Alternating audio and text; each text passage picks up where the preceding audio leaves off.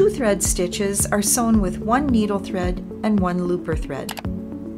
The lower looper is threaded, shown here in yellow, and either the left needle or the right needle is used, depending on the width of the stitch you want to sew.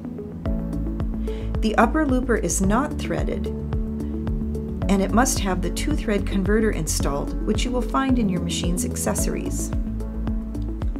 It is installed easily by setting its base into this part of the upper looper first. Then push this part of the converter back until the front hook of the converter is directly behind the eye of the upper looper.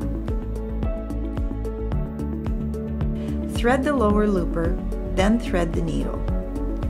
You're ready to sew.